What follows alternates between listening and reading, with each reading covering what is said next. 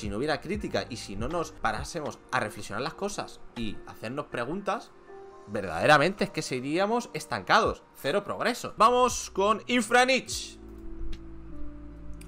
Ojo a la vaina esta, muy interesante, ¿eh? No sé si lo veréis bien, yo lo leo, os lo cito textualmente. Terminando el curso de freestyle con Pedro en la Universidad de Palermo, entiendo la razón histórica... Hostia, ¿eh? Es que esto tiene mucho empaque, ¿eh? Esto tiene mucho bagaje. O sea, que empiece esto así diciendo, entiendo la razón histórica de Rodrigo Quesada como emergente y creador de contenidos. Bro. ¿Qué inicio de este artículo? Claro, digo con seguridad, pero lo estoy diciendo por primera vez. En una coyuntura, abre comillas, en una coyuntura en la que los mismos famosos miran sus propias batallas, nació una tensión a ser políticamente correctos. Qué gran verdad, ¿eh? Qué gran verdad. Uno va a verlos para saber lo que piensan, pero ellos dicen lo correcto. No aportan nada. Dicen, ah, oh, mmm. Pero no es un juicio sincero. Nos dan el privilegio de que los escuchemos con ellos, pero se guardan lo que piensan. En ese contexto, Quesada es políticamente incorrecto.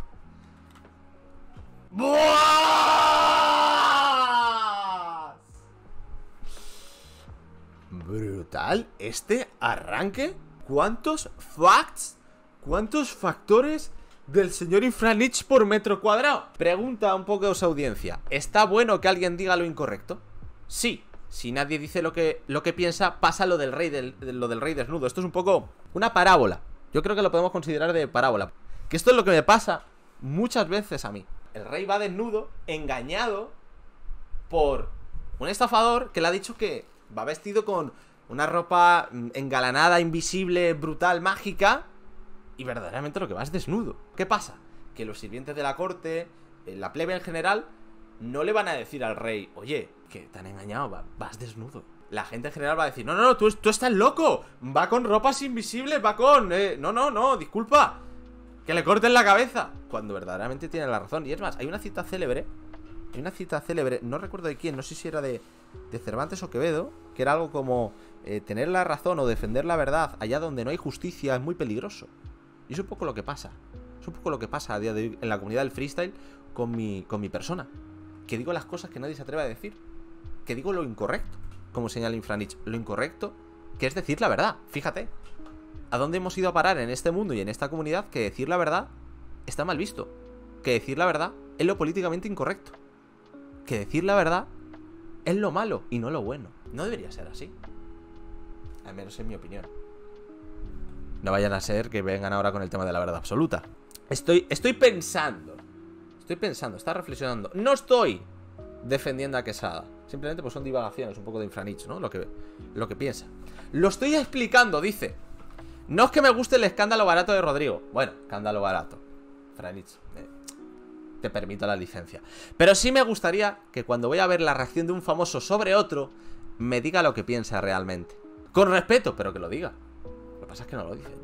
Hace poco estaba buscando música nueva y me voló la cabeza Bambú, de Panther. Mal, la escuché 6 veces, 7, 15. En un contexto rítmico hace armonías, pero rima con las técnicas que encontró el hip hop.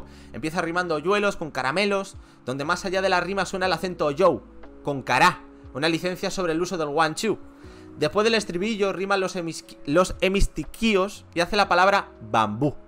Algo hermoso, aunque no sepamos muy bien qué es. Prosigue. Busco a Panther en YouTube y veo que Cóscula racionó. Claro, digo, pero es el único famoso que reacciona a esa canción. El que sabe, sabe. Suelto al aire. Hace dos años, el corral de Jimmy manejaba la opinión pública.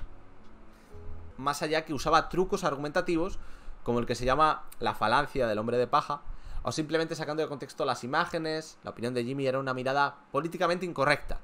En ese contexto, el propio de Toque se volcó él mismo a hacer contenido luego de una polémica con el mexicano.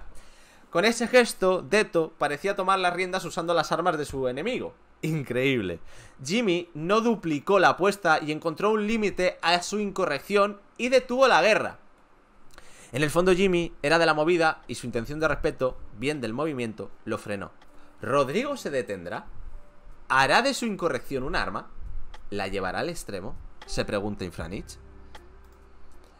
Aquí pone ya un poco el tema de bambú, pim pam, esto lo otro. Y creo que aquí ya, bueno, hay, ciertas opiniones, ¿no? De su gente. Me encantan este tipo de historias infra, me hacen pensar mucho, mientras sea con respeto, bien o mal, correcto o incorrecto, las presiones necesarias para el desarrollo humano, más uno eso. Y hoy en día reguló bastante sus formas porque tiene un poco más de viralidad, él mismo se dio cuenta. Ser incorrecto no implica ser irrespetuoso o tratar a la ligera el hate que generó el tipo en MCs. Si te pones a pensar, nos pasó muchas veces el querer decir algo y no poder por el entorno. Dicen las cosas como son, se quedan callados por el miedo que le corten la cabeza. Claramente, si nadie dijera nada, seguiría siendo la sociedad totalmente machista, racista, etc. Cuidado, ¿eh? Ese comentario es muy acertado. Ojo, ¿eh? Qué, acertado ese último comentario de claramente, si nadie dijera nada, seguiría siendo la sociedad eh, totalmente machista, racista, etc. Y es verdad, si no hubiera crítica y si no nos eh, parásemos a reflexionar las cosas y hacernos preguntas, verdaderamente es que seríamos estancados, cero progreso.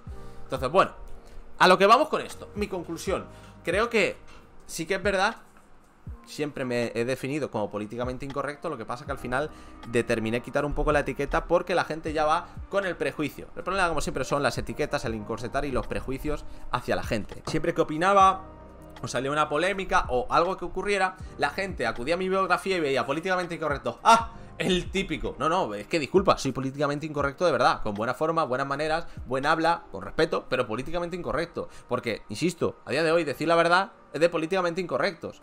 Y es que lo que comenta eh, Infranich, creo, creo, lo considero una grave una grave problemática. El hecho de que tú vayas a ver una reacción y porque el amigo de está reaccionando a su amigo, no vaya a decir que verdaderamente no lo está haciendo muy bien. O X opiniones, pueden crear algo de controversia, prefieren ahorrárselas para evitar un marrón para ellos y bueno, pues se vive mejor con verdades a, medias o mentiras directamente o actuando bajo los focos. Incluso he llegado a plantearme si tengo sincericidio, tío, porque que hay cosas que no... De verdad, no me puedo callar. Yo veo algo y lo veo tan evidente y digo, hostia. ¿Qué lo tengo que decir? De buenas maneras, Luego está el tema de las formas. ¡Las formas! De buenas, de buenas maneras. Pero decirlo, ¿no? Para que la gente, ojo, no coja mi opinión o mi visión de las cosas como una verdad absoluta. Simplemente para que al final reflexiones y tengas un poco, digamos, ese punto de reflexión o de inflexión y digas tú, vale, a partir de aquí, puede tener razón Rodrigo? ¿O no? A lo mejor no. Y tú saques tu, propia conclusión. Yo no busco que la gente repita como dogma las cosas que digo. Yo quiero que la gente se pare a pensar cierto tipo de cosas y forme su propia opinión y conclusión. Punto pelota. No hay más. Comparto el análisis de Infranich en cierto, en cierto modo. Creo que no había ningún creador de contenido, eh, digamos, de mi corte. Pero ojo, ¿eh? Yo no buscaba esto de manera intencionada. Es que yo no me planté en mi casa y dije, hostia, no me paré a analizar la escena del free y dije, hostia, vamos a ver qué youtubers hay, a ver si este, este, este y lo otro. Tenía eh, conciencia y tenía conocimiento eh, pues de los típicos de los Mowgli Hawk, Streamo, Capo y. y si tal FJ de pasada, bueno, Forza. Pero de verdad, no, no tenía conciencia de, digamos, el ecosistema de creador, eh, de creación de contenido que hay en el, en el free. Y bueno, y ahora que hay, que hay youtubers, eh, bueno, freestylers que son youtubers, ni, ni, te cuento. Pero yo no lo hice con una intencionalidad de marketing eh, viral, de estrategia, no, no, no. Simplemente empecé a crear contenido. Mis opiniones, pues, caían bien o mal. A veces, pues, em, generaban controversia, otras no, pero claro, creo que impacta más en una comunidad donde no hay tíos que dicen la verdad o donde no había, porque ahora iremos con esto, pero creo que no había creadores de contenido eh, que fueran críticos verdaderamente. Simplemente había, pues eso, racionadores que se, paraban a ver la batalla y decían, bueno, sí, esto está muy bien, ala, qué guay, tal, esto, lo otro. Genial, ¿no? Porque verdaderamente, insisto, sacadme un clip ahora, ¿eh? De ahora, de las formas o sea, de las formas. Sacádmelo. Decían vamos a actuar las raciones para la visita. No, no, no, Lucas, no dicen vamos a, actuar para sacar visitas, pero evidentemente ellos son conscientes de que cuando crean contenido está mejor no decir según qué cosas que pueden repercutir para bien o para mal, sobre todo en el tema para mal, en, ciertas, en ciertos freestylers o en ciertas figuras del free. Entonces, yo creo, parándome un poco a pensar, que ahora que cada día salen más eh, creadores de contenidos y los que ya habían, creo que se han amoldado un poco al tema de mi irrupción.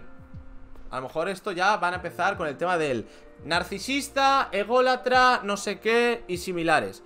No, de verdad. Simplemente es una conclusión a la que llego a raíz de leer una opinión del señor Infranich. No es algo que haya salido de mi mente. ¿Sabes? No es algo que haya dicho yo. Mi ego dice esto. No, no. Es una opinión que a lo mejor, que a lo mejor es acorde a la realidad o no. A lo mejor aquí estoy reflashando, amigo. Pero creo que a partir de ahí se ha generado como un poco la necesidad de ya no ser tan bien quedistas a la hora de brindar opiniones, a la hora de hacer reacciones. Hasta el mismo Force a veces se moja más de lo habitual. Ahora da opiniones. Ha pasado del ala a opinar. Y otros creadores de contenido creo que un poco lo mismo. Tratan de ahora por lo menos dejar la impronta de yo, yo he opinado. Yo he opinado, yo he dado mi opinión, para bien o para mal, he opinado. O sea, hemos pasado de simplemente poner la cara, reaccionar y eh, tal vez dar unas nociones acerca de lo mm, teórico o práctico del free, ¿sabes? Ah, bueno, creo que este tío puede estar sobrevalorado, creo que en esta batalla se ha votado mal o bien, creo que no sé qué, y está bien. Y está bien que se den ese tipo de opiniones. Porque al final, gracias a esas opiniones, se genera debate, se genera tema de conversación, y a partir y a raíz de esa serie de comentarios, llegamos a unas conclusiones y reflexiones que nos pueden hacer progresar. Y creo que el freestyle, no me quiero poner ninguna medallita, pero han ocurrido reiteradas ocasiones cosas que he dicho y al final se han materializado. Simplemente revisar la hemeroteca. O, si queréis, refrescarla, refrescar los temas que al final se han implementado o han ocurrido, se han materializado, decirlo en el chat, sin ningún tipo de problema. Sin ningún tipo de problema. Porque son varias cositas. Son varias cositas las que al final han, han ocurrido. Han pasado de ser una opinión a ser una realidad. Hace un par de meses salía en el programa piloto de Freestyle Forum. El debate organizado por Urban Roosters. Y que invitado ahí estuve yo, ¿eh? Y es más, no sé si lo puedo decir, pero a mí eh, me ofrecieron. Me ofrecieron confeccionar un programa para Urban Roosters donde yo participara en su canal. Lamentablemente tuve que rechazarlo al final. O sea, en un principio dije que sí, pero luego, pues bueno, a la hora de hacer o materializar ciertas condiciones, no me, no me terminó de interesar. No me terminó de interesar. Pero a mí me ofrecieron un programa en Urban Roosters. Y yo dije que no, al final. E insisto, mañana el CEO de Urban Roosters, Asier, viene aquí. Y me diréis que no hay mucho de lo que hablar. Os juro que mañana saco al menos dos exclusivas. Prometido. Y mira, y mira que me han pisado el 90% de las preguntas. Pero mañana os prometo que saco mínimo dos exclusivas. Por esta. Os lo juro. Os lo juro. Os lo prometo.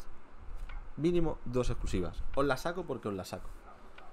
Talento periodístico. Aquí sí que me, aquí sí que me echo las flores. Talento periodístico. Olfato. Olfato periodístico. Preparaos bien que se vienen curvas. Por cerrar un poco el tema, agradecido. Agradecido. Muy agradecido. Con la opinión de Infranich.